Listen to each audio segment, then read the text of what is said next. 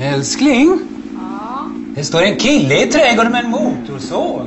Mhm. Han kanske kan hjälpa oss att ta ner björken.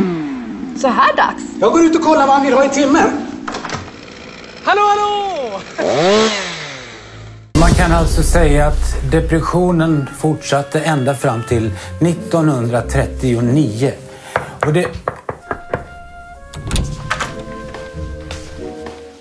Glad kärleksdag B. Vi tänkte dela ut lite rosor som har blivit skickade till eh, några av er. Om det är okej att vi stör? Eh, rosor, det, det gav jag till min fru varje fredag. Vi, vi är separerade nu. Hon har hittat en annan, en yngre förmåga. Så jag lever ensam nu. Ska jag vara riktigt ärlig så har det varit ganska tufft det senaste året.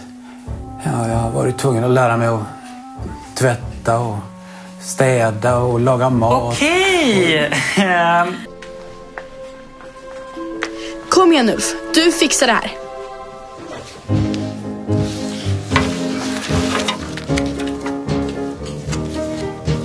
Tussan, det är min hund. Ja, det här är Bosse, det är min, min hund. Bosse, Ja. som husse. Yes, vi klarade det. Men vadå, vi vet ju inte om de blir kära precis. Jo, ni ser väl hur de kollar på varandra? De skulle nog leka bra ihop.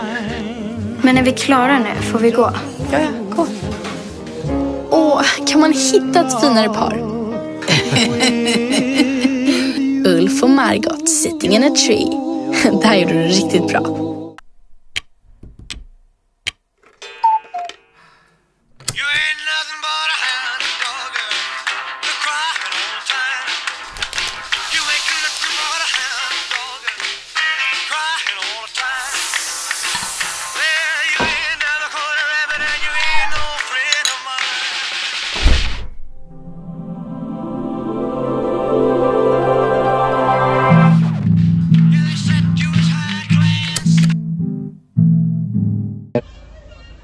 Skulle det gå för sig om ni beskrev händelseförloppet? Alltså jag menar från det att Karl kom hem till ambulansen kom. Jag, här låg jag och sov för jag, jag, jag snarkar så Solveig kan inte sova om jag ligger inne i sovrummet. Jag tyckte han såg full ut. Så jag sa att han skulle lugna ner sig.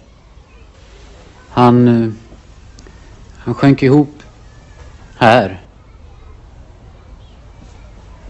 Jag gick fram och, och tittade men ja, jag såg ingenting.